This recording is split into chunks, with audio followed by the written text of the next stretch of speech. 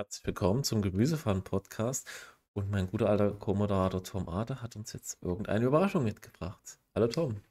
Jo, hallo Arti, hallo junges Gemüse. Genau, ich habe mal ein bisschen bei Funk rumgeströmert, bei unseren Freunden von Funk. Das ist ja äh, dieses öffentlich-rechtliche Jugendnetzwerk. Und habe mir da mal so ein paar Kanäle reingeschaut und bin da drauf gestoßen, dass es da auch tatsächlich Serien gibt. Also schöne kurze Webserien und die wir mhm. vielleicht mal uns anschauen könnten. Wir haben uns jetzt gar nicht groß darüber informiert.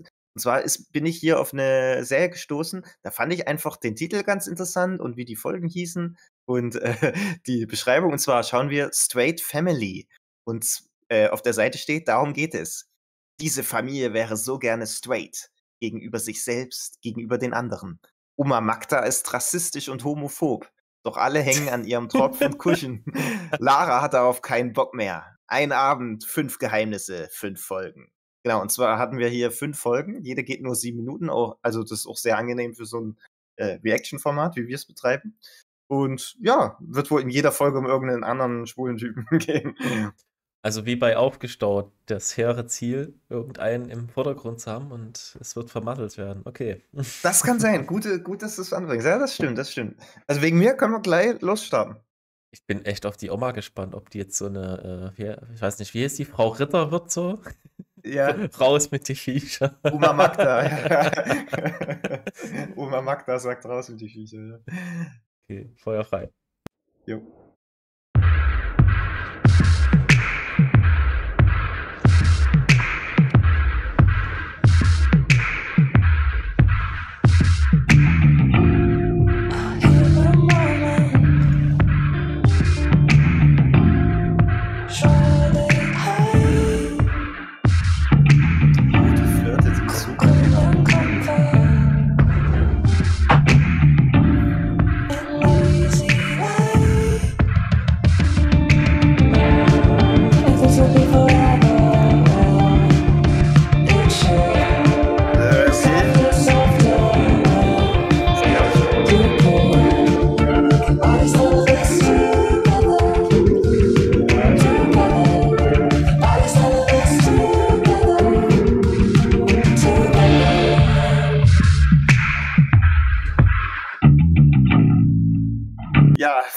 Präsentiert. Öffentlich-rechtliches Fernsehen, sehr schön.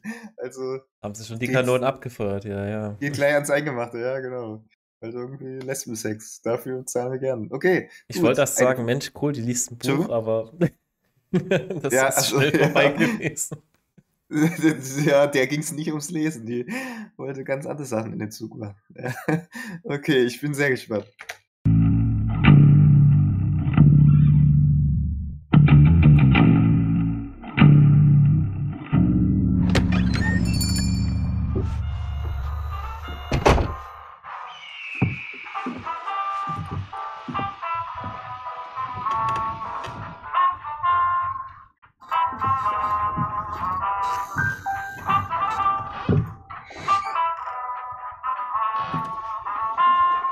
Stopp. Ja, stopp, genau. Es ist natürlich Berlin, ne? Wo sonst könnte ja, eine Funksendung spielen? Willst du vielleicht mal kurz raten, was ist das denn hier für eine Szenerie? Ist sie in einem schwulen Club oder so? Oder? Irgend so eine Club-Bar-Geschichte wird es schon sein, ja. Ja, guck mal, links hinten steht zum Beispiel Jesus had two dads. Also, ich denke, das wird hier irgendwie so eine Art schwulen Ding sein, glaube ich. Aha, irgendwie kriege ich so die Vibes davon. Ja, ja. Okay. Okay, wir schauen mal weiter. Ist instabil. Ist Cristiano da drunter? Ja.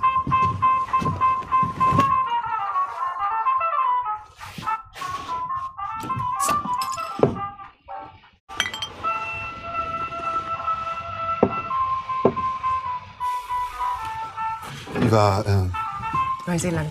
Ja, genau. Ja, ist schon so wie alle sagen, grün, weit, schön. Wenn irgendwas so perfekt ist, dann kommt bei mir mal ein bisschen Kotze hoch.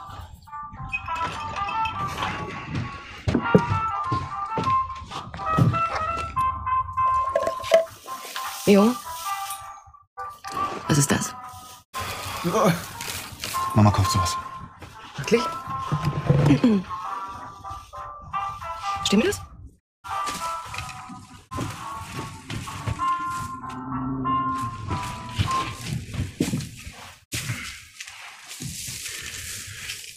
Ist dir das unangenehm? Wie alt bist du? Zwölf? Ich habe das Gefühl, da steht irgendwas zwischen uns. Also bitte aufhören, ich muss arbeiten hier.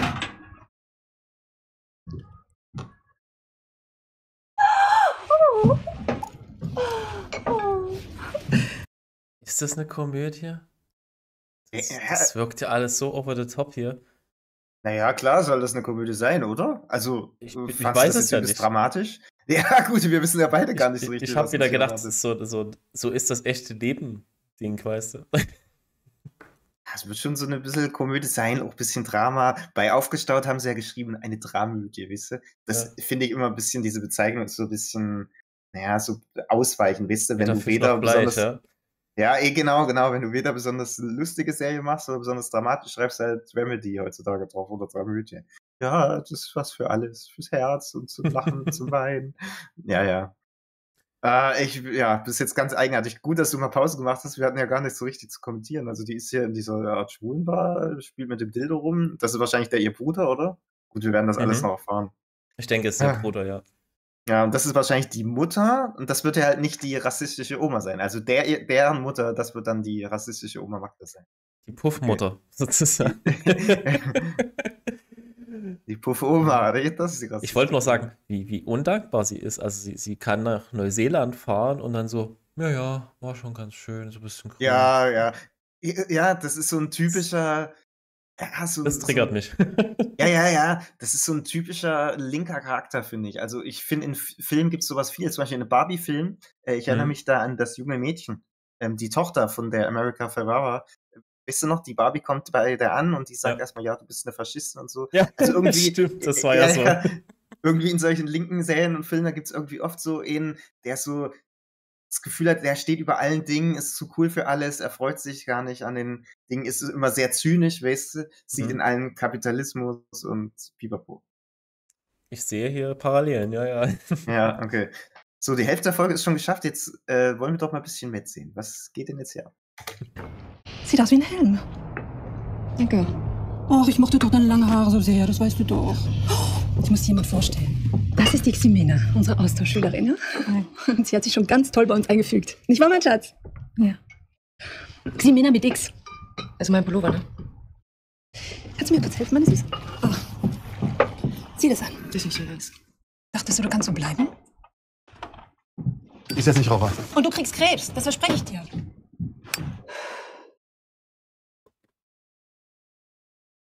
Davon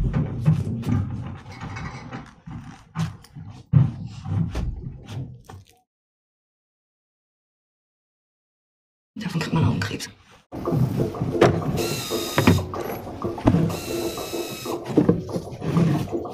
In welchem Alter wird man eigentlich nicht mehr von seiner Mutter angezogen? Es geht um einen Abend.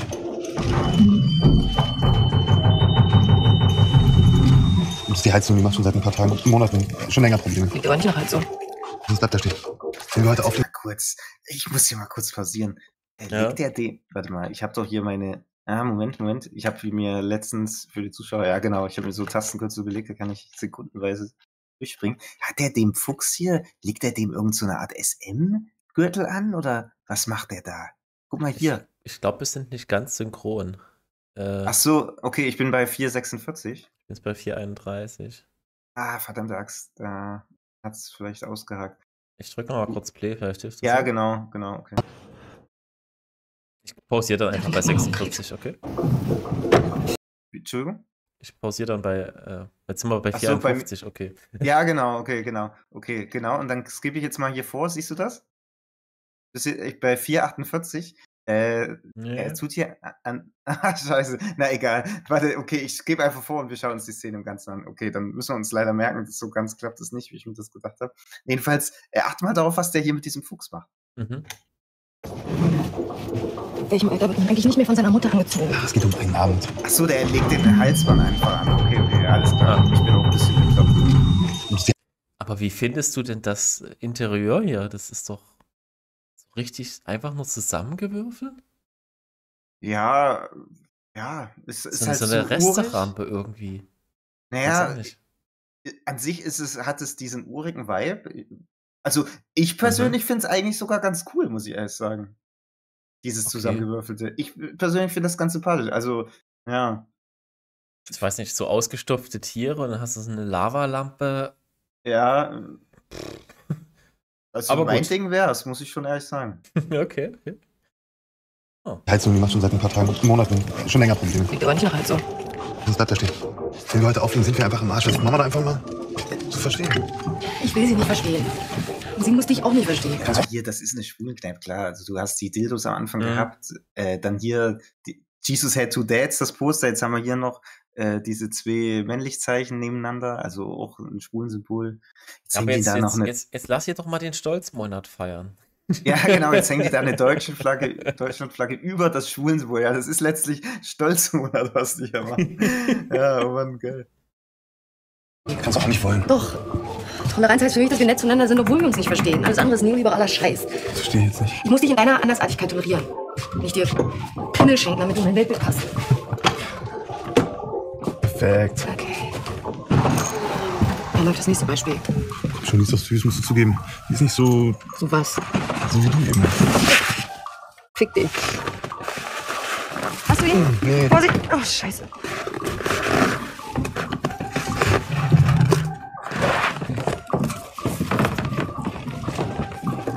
Man schleppt dir dieses Teil immer noch mit sich rum? Das hier ist eine enorme Verbesserung. Schneller! Ich krieg's nicht ab. Ja, ich heb's grad hoch. Leo, ich glaube, ich stehe auf Frauen. Hm? Ich bin lesbisch. Was? Okay, ich, ich sicher. bin jetzt. Oh, warte mal kurz. Ja, ich bin sicher. Ja. Ich habe auch Pause gedrückt. Ach so, ja, siehst du, da haben wir immer beide gemacht. Ich bin ein bisschen gespannt, wie sich das jetzt hier entwickelt.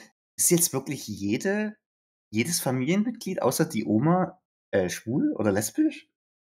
Oder sonst also, was? Ja. Das, das, naja, also da würde ich schon mir fast eher Sorgen machen, dass das, naja, gut, ich weiß nicht, wie sehr ich mich jetzt aus dem Fenster lehne, aber dass das vielleicht andere Gründe hat, so diese sexuelle Orientierung, wisst ihr, wenn alle mhm. auf einmal, also das sind schon große statistische Zufälle, sage ich mal so. Wenn dann hier alle in einer Familie so in die Richtung gehen. Ja, ja, ja, klar, klar. Weißt du, was ich meine? Also der, hm. der Typ hier links, der, hätte ich jetzt schwul. geschätzt, ist bestimmt auch schwul, oder? Ja, ich meine, er arbeitet in einer schwulen Kneipe. Genau. Sie sagt jetzt, sie ist lesbisch, klar. Ähm, ich frage mich ein bisschen, was die Mutter angeht. Von der wissen wir noch nichts. Ähm, ich vermute aber gut, die Serie heißt Sweat Family, die wird bestimmt auch schwul sein. Ja, mal sehen. Okay. Ja, mhm. Papi, ich habe ein Baby im Bauch, du weißt. Ne? Genau. Au, ja, stimmt, vielleicht war das mal äh, ein Mann, oder? naja. Okay, wollen wir weitergehen? Ja. Tja, warum flüstern wir? Also, das ist so, so eine Vase von dir, die. Willst du mich verarschen?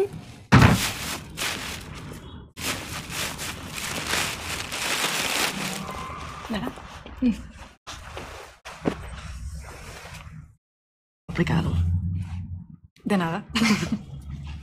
Sorullo, Sorullo, devuelve lo que no es tuyo.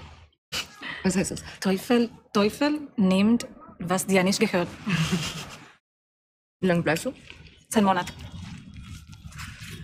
Ich hasse ja Verallgemeinerung, aber werden nie wie die Deutschen. Die Männer mit X. Ja? Ja.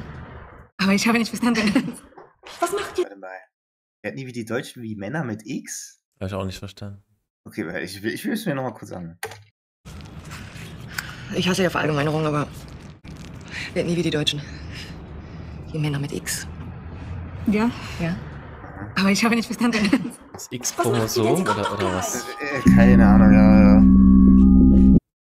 Auch das ist so ein Klassiker. Ich hasse Verallgemeinerung, aber ich mach's trotzdem.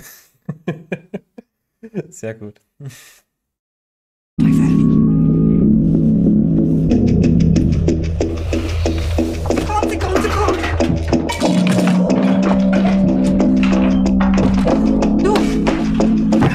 jetzt verstehe ich das erst den ganzen Sinn. Der Sinn ist, dass die hier diese ganzen schwulen Devotionalien abdecken. Ja, weil die Oma kommt, genau. Ja, weil die jetzt die rassistische Oma Magda kommt. Alles klar, okay, okay, okay.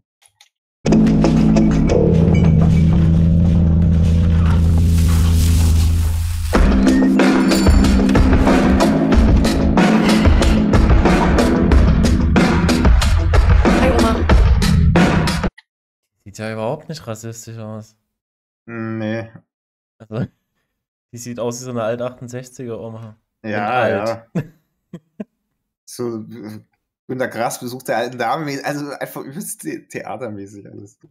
Ja, okay, ja. was sagt uns jetzt hier die Schauspielerin? Hi ihr Lieben, ich bin Luise, ich spiele Lara und das war die erste Folge von Straight Family und ich hoffe, sie hat euch gefallen. Und jetzt könnt ihr Nein. gerne was dazu sagen in den Kommentaren. ich fand's scheiße, aber gut, vielleicht wird's noch geil. Oh, es gibt Kommentare. Lara hat ja zum Beispiel oh. gerade Ah, ja, ja, das war gut. Zum Beispiel gerade Leo gestanden, dass sie lesbisch ist. Vielleicht kennt ihr sowas auch. Vielleicht habt ihr auch schon mal jemandem was erzählen wollen. Der oder die war dann total überfordert. Oder vielleicht war es auch ganz positiv, überraschenderweise. Wir freuen uns, wenn ihr uns in den Kommentaren davon erzählt und wünschen euch viel Spaß bei der nächsten Folge. Ja, siehst du, selbst selbst bei Funk, bei öffentlich bezahlt sind sie einfach am Ende des Tages Klickhuren. Bitte, bitte äh, kommentiert bei uns, liken, teilen, kommentieren. Wir brauchen die Aufmerksamkeit. Ah, und sie ist ja. ja. auch so mutig, 2023 zu sagen, sie ist lesbisch. Also. Ja, so krass. Also, Uff. ist krass. Vor allem, wenn deine ganze Familie irgendwie schwul ist. Also, wow. Nur, nur die Oma, ne? Die. Fetten Respekt, ja. die, oh, ja.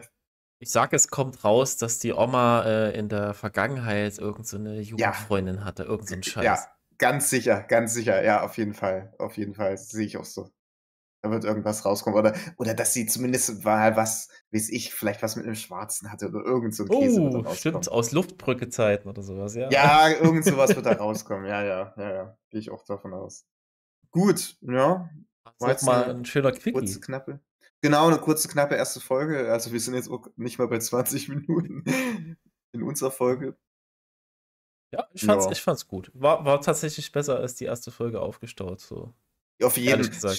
Stimmt. Ja, man muss ja dazu sagen, für alle, die jetzt ein bisschen enttäuscht sind, bei Aufgestaut war es so, bei den ersten zwei Folgen, das war noch ziemlich öde und dann wurde es richtig saftig. Also dann kam die pure Propaganda-Kante äh, in die Fresse. Und mhm. ich denke, hier wird es genauso am Anfang. Jetzt hier diese erste Folge müssen natürlich erstmal die Figuren eingeführt werden und so, gerade wenn die Folge nur sieben Minuten geht. Aber mhm. das wird spätestens bei Folge drei wird es hier richtiges Feuerwerk, denke ich. Ja, ja. Ich denke, nächste Folge wird die Oma eingeführt und dann, dann geht's richtig ab. brechen dann genau. die Konfliktlinien auf. Ja, ja, ja. In dem Sinne, haltet durch, liebe Freunde. mhm. Und dann hören wir uns beim nächsten Mal. Tschüss.